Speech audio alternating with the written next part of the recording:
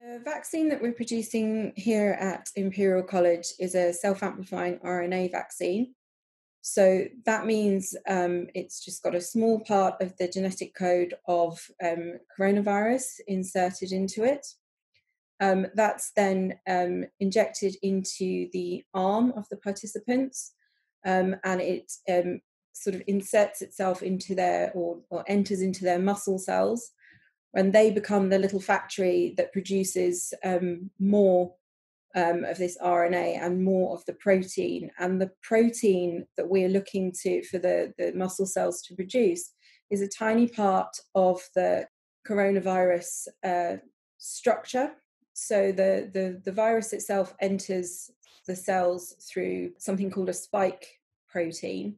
Um, and if you've seen the, the, the image on the, the TV and on the news, it's the, it's the little bits that stick out from the outside, and that's what we want the immune um, system to make a response to.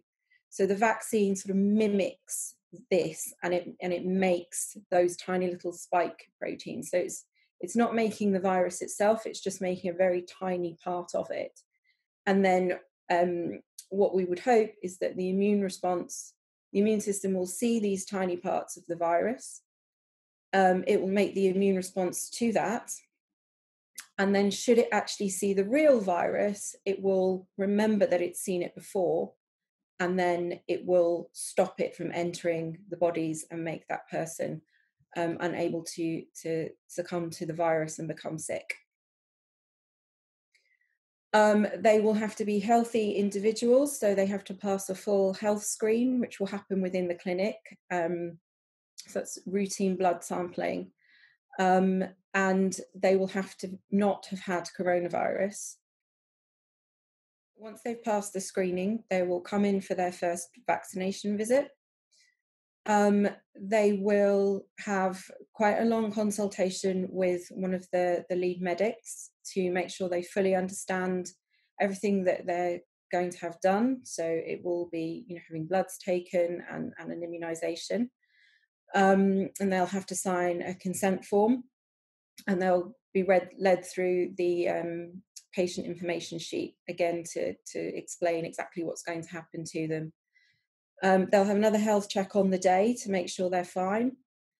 Um, they will then have some blood taken so that we get um, to know what their um, blood and immune responses against coronavirus looks like on the day that we give them, or just before we give them the vaccination. They'll then receive the vaccination, and then they will be monitored for an hour post vaccination um, closely by the medics.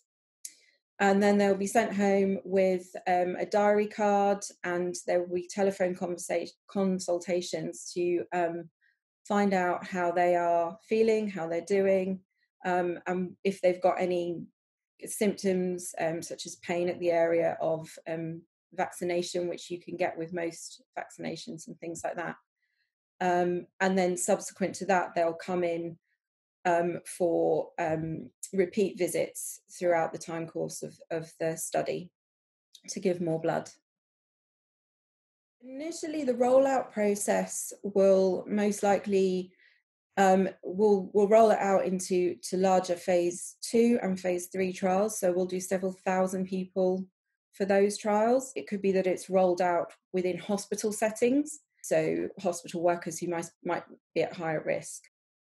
Within um, Imperial's um, clinical trial labs here um, at St Mary's Hospital, we are um, we are looking, or we will be looking for um, antibodies against the, um, as I mentioned, the spike part of the coronavirus. Um, so, if somebody has successfully um, started to develop an immune response against that part, we should be able to detect antibodies to it.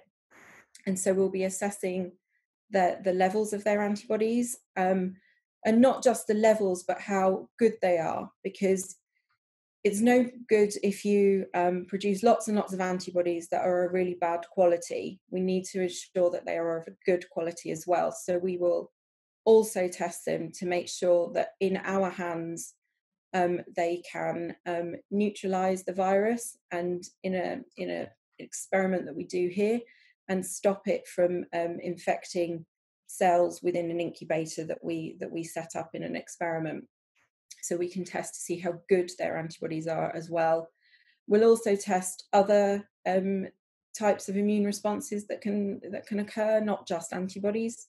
So we'll just monitor everything over the course of, of the vaccination and through to six months follow up um, just to see how long the antibodies last as well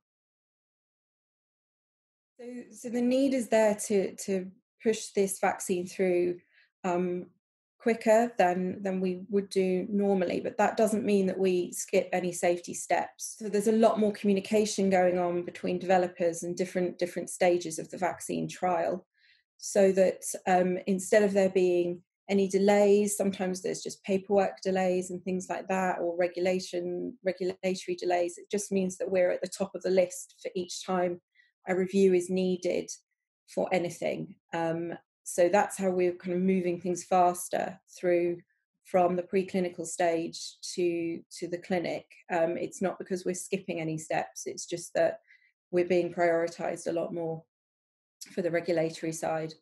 So it will still take, um, you know, 12 to 18 months to get this completely fully rolled rolled out because we have to ensure that we hit all the safety steps. Anybody who's who's afraid of getting the vaccinations or anything like that, you know, sort of rest assured we do everything we can to make them as safe as possible. Um, you know, we're not, like I said before, we are accelerating this, but that doesn't mean we're skipping any safety steps. So they won't be any less safe than they were before.